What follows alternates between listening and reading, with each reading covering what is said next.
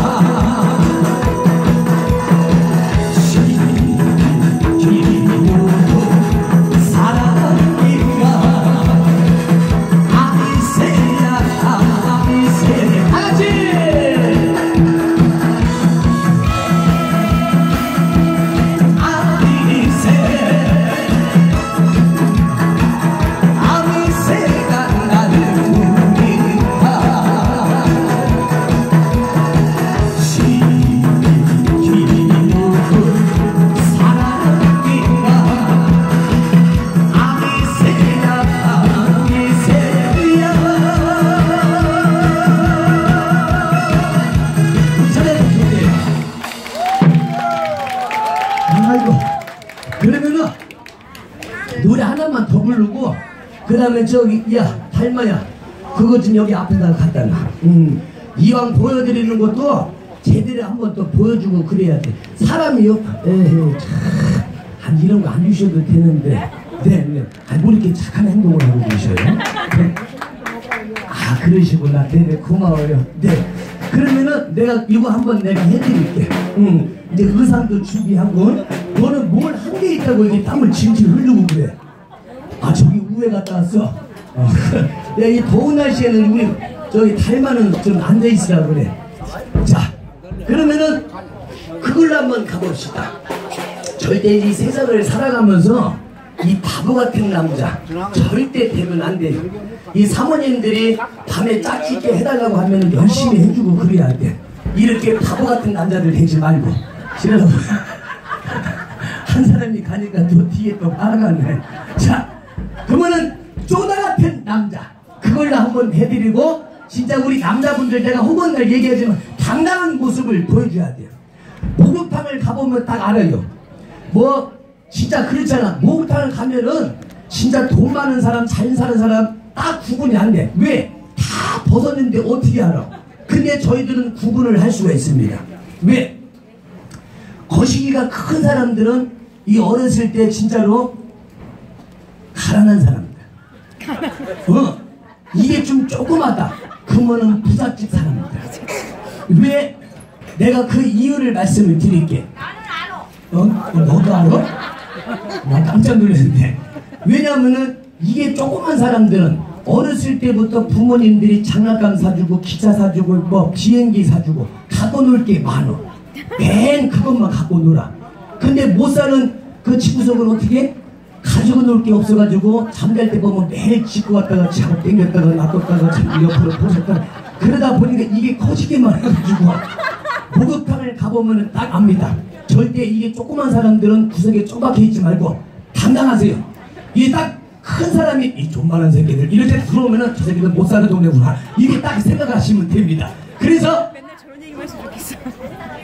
야 우리 집 잘 살았지 엄청 잘 살았어 자 꼭 그걸 얘기하고 그래요 자 당당 어 가면서 내가 뭐 불렀는지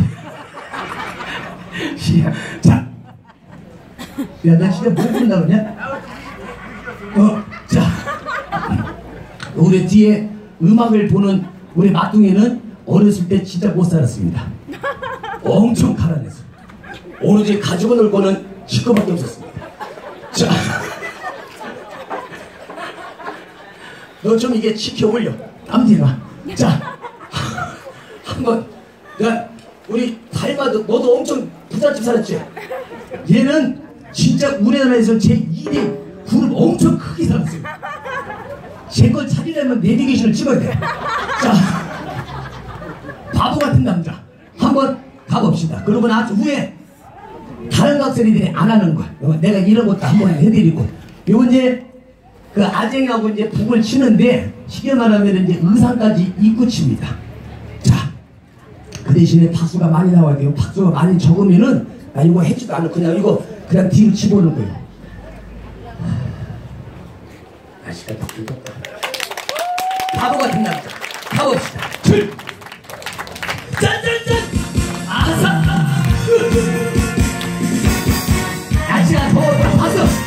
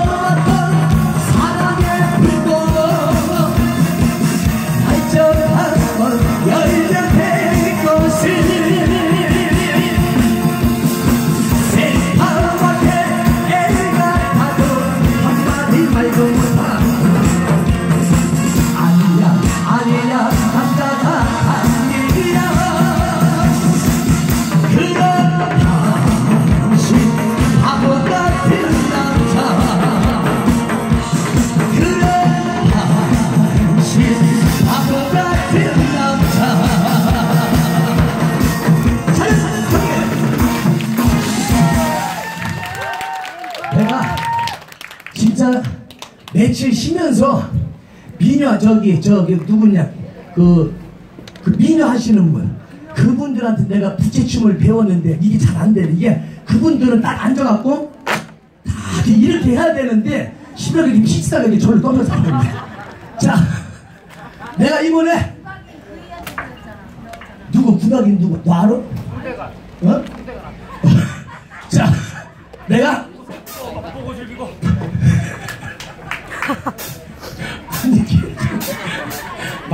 됐죠. 네. 내가 국악 하시는 분한테 내가 제가 부채춤을 배워서 내가 이제 이따가 부채춤 내가 한번 해드릴게. 우리 막둥이가 안 해. 내가 저기 그 국악 하시는 분 내가 누구한테 배웠다고? 어, 선배한테 배웠어. 자, 그분들 그 국악 하시는 분이 맞잖아요. 식구 뜯고 맛보고 지키고 이렇게 하시는 분. 자, 내가 이걸로 원래는 이게 딱 가운데서 해야 되는데 여기서 해야 돼. 이게 땅에 이게 가운데가 지나가가지고. 그 오늘은 이렇게 하고 내일은 저희들이 포크레인 가가 와가지고 이거 다 퍼내. 어 이제 좀 반듯한 데서 하게. 응? 누가? 이거 뽑아버린다고? 누가? 네가? 쓸데없이 그힘 쓰지 마. 자, 그건 내가 잤어요. 아 이거 하라고 더 뒤집었는데. 갑시다. 어차피 하는 거 이쁘게 꽃가 입고 해야지. 그게 보면은 끈이 있을 거예요. 자, 끈까지 아니 매고 합시다. 잠깐만요. 자, 이거 어? 아니 그끈 말고 여기 있는 거. 그렇지. 우리 너는 못 매지. 우리 막둥이가 잘 매. 막둥아, 끔지 하나 매줘. 매주나 아니 이렇게 두 겹을 해는 거야 빙신아. 자, 어, 이렇게 해가지고 음, 내는 거야. 그렇지. 또 이런 거 많이 해봤지. 아 벗기는 거밖에 안 해봤어. 음. 자, 거기 허리 아니야. 거긴 배야. 좀만 내려. 그렇지. 한번 가보게. 그 어?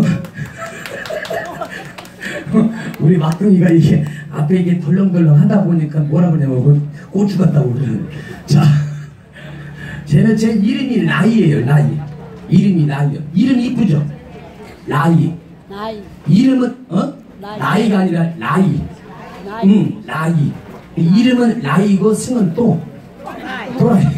자 광대 니미볼이라는 노래로 한번 이제 해드릴게요 날씨가 좀 더운데 다른 각설이들 같은 경우는 날씨가 더우면 안 하는데 저희들은 그래도 합니다. 자 여기 지금 동네에서 사시는 분들 한번 손 들어보세요. 하나 둘세 명밖에 없네. 오 아니 여기 저녁 되면은 사람들이 많이 나와요? 얼마나? 많이. 엄마 주소 어떻게 돼요? 아니 왜냐면 왜 주소를 하냐면은 이 저녁에 사람들이 많다고 했는데 저녁에 사람 안 나오면 엄마 집에 찾아간다고. 자 한번 가볼게요. 광대라는 노래와 님의 등불. 한번 가봅시다. 가사를 잘 들어보면은 저희들 각설이들 노래입니다. 참 가사가 좋아요. 이 시기의 마지막 광대. 가봅시다